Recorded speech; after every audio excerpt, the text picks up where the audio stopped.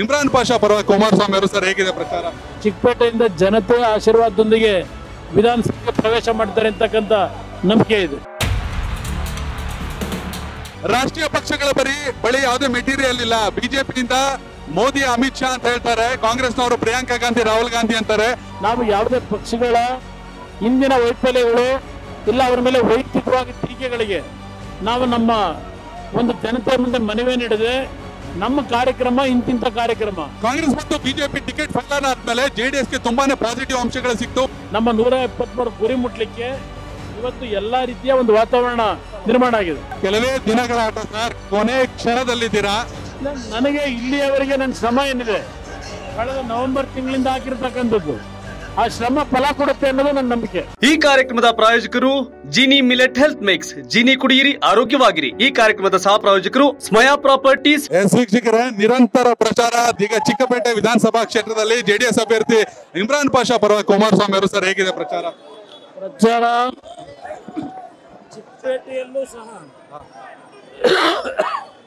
ತುಂಬ ಜನತೆಯ ಒಂದು ಒಲವು ಕಾಣ್ತಾ ಇದ್ದೇವೆ.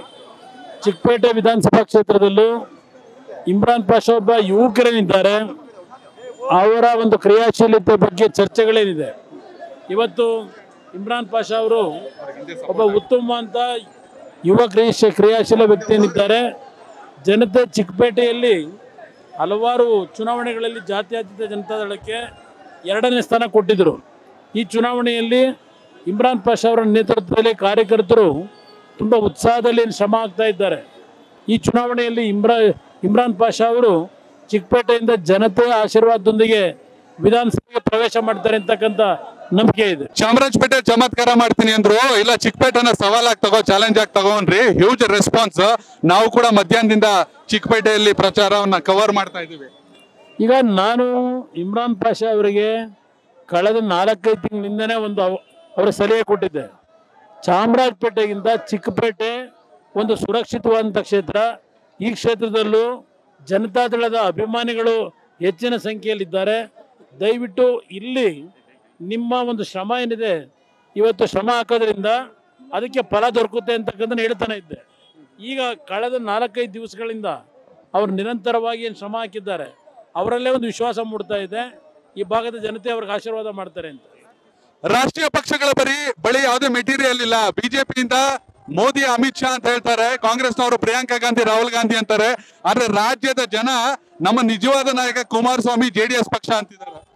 ನಮ್ಮ ಪಕ್ಷ ಈ ಚುನಾವಣೆಯಲ್ಲಿ ವಿಷಯಾಧಾರಿತವಾದ ನಾಡಿನ ಪ್ರತಿ ಕುಟುಂಬಕ್ಕೆ ಯಾವೊಂದು ಅವಶ್ಯಕತೆ ಇದೆ, ಅವರ ಬದುಕಿಗೆ ಆ ಕಾರ್ಯಕ್ರಮಗಳನ್ನು ಜಾರಿಗೆ ತರಲಿಕ್ಕೆ ಒಂದು ಅವಕಾಶವನ್ನ ಜನತಾದಳಕ್ಕೆ ನೀಡಿ ಅಂತಕ್ಕಂಥ ಮನವಿ. ನಾವು ಯಾವುದೇ ಪಕ್ಷಗಳ ಇಂದಿನ ವೈಫಲ್ಯಗಳು ಇಲ್ಲ ಅವರ ಮೇಲೆ ವೈಯಕ್ತಿಕವಾಗಿ ಟೀಕೆಗಳಿಗೆ ನಾವು ನಮ್ಮ ಒಂದು ಜನತೆ ಮುಂದೆ ಮನವಿ ನೀಡದೆ ನಮ್ಮ ಕಾರ್ಯಕ್ರಮ ಇಂತಿಂಥ ಕಾರ್ಯಕ್ರಮ. ಈ ಕಾರ್ಯಕ್ರಮದಿಂದ ನಾಡಿನ ಜನತೆಗೆ ಯಾವ ರೀತಿ ಅನುಕೂಲಗಳಿದೆ ಈ ಪಂಚರತ್ನ ಯೋಜನೆಯಿಂದ? ಆ ಹಿನ್ನೆಲೆಯಲ್ಲಿ ಒಂದು ಬಾರಿ ಐದು ವರ್ಷದ ಸರ್ಕಾರ ನಾಡಿನ ಜನತೆ ನೀಡಿದರೆ ಬಾಬಾ ಸಾಹೇಬ್ ಅಂಬೇಡ್ಕರ್ ಅವರ ಚಿಂತನೆ ಏನಿದೆ?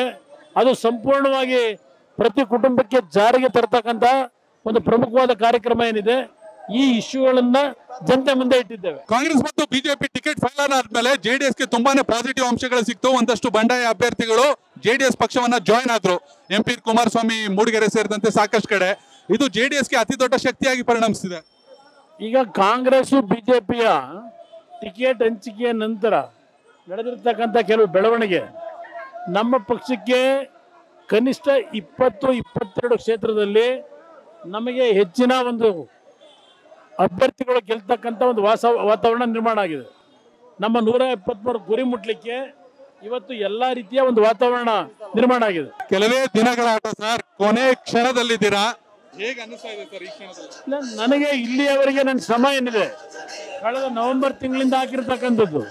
ಆ ಶ್ರಮ ಫಲ ಕೊಡುತ್ತೆ ಅನ್ನೋದು ನನ್ನ ನಂಬಿಕೆ. Thank you so much sir